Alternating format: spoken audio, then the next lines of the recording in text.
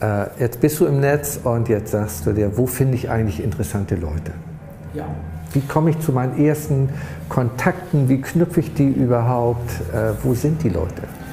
Die beste Möglichkeit, halt interessante Leute zu finden, ist, die zu googeln. Ähm, welche Experten gibt es eigentlich im Markt, die mich interessieren könnten? Ich könnte einen Videoexperten suchen, ich könnte einen Startup-Experten suchen, ich könnte einen Social-Media-Experten suchen, der mir halt so langsam aber sicher mich in die sozialen Netzwerke oder die Startup-Welt oder Videowelt reinholt. Dann gucke ich mir die ersten 10 bis 20 Seiten bei Google an. Wen gibt es denn schon?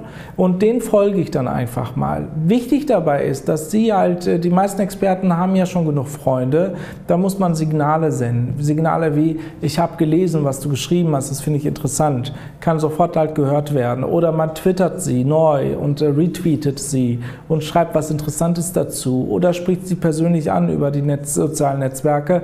Dann kommt halt direkt der Kontakt. Das heißt also, man kann die, eigentlich jeden Menschen ansprechen und kennenlernen, wenn man die richtige Strategie entwickelt der persönlichen sozialen Media-Ansprache. Und ähm, das habe ich halt persönlich für mich festgestellt, dass es funktioniert funktioniert. Und langfristig ist es so, je mehr tolle Inhalte ich persönlich äh, investiere und integriere in Social Media, desto mehr kommen Leute halt, die mich dann kennenlernen wollen. Das ist eine viel bessere ähm, Investition. Und ähm, so sehe ich das halt sehr intensiv. Das heißt also hingehen und versuchen halt maximal geile Inhalte zu produzieren, die unterhaltend sind, die informativ sind, die die Leute interessieren könnten. Dann kommen die Menschen sowieso automatisch. Das passt ganz gut. Jetzt meine Anschlussfrage. Äh, wie werde ich bekannt? Du hast schon ein bisschen geantwortet, indem ich selber etwas reingebe, was für andere vielleicht interessant ist. Äh, kannst du das mal näher beschreiben, was das sein kann? Bekannt zu werden bedeutet ja auch gleichzeitig, dass ich halt irgendwas Tolles mache. Sonst wird man ja nicht bekannt. Also ob ich jetzt gut Fußball spiele, ob ich ein tolles Buch geschrieben habe oder halt ein Museumsexperte bin, der halt über die ganz neuen Skulpturen und Kunstmuseen Sachen schreiben.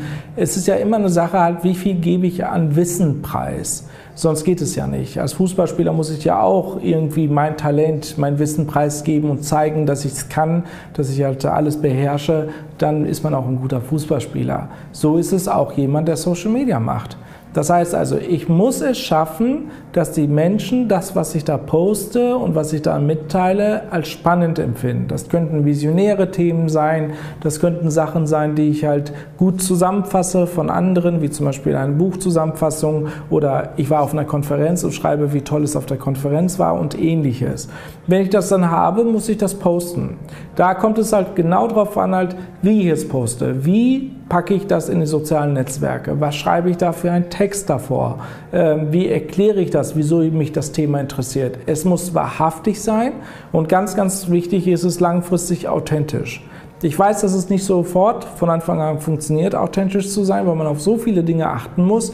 Aber langfristig muss es das Ziel sein, ich muss mich da wiedersehen, ich muss mich da wiedererkennen und die Menschen, die mich da, ähm, da halt lesen, müssen genau das empfinden, wie ich bin, wie ich dann halt rede, wie ich normalerweise bin. Ja, dann hat man perfektes Social Media gemacht und dann kann es eigentlich gar nicht mehr schief laufen.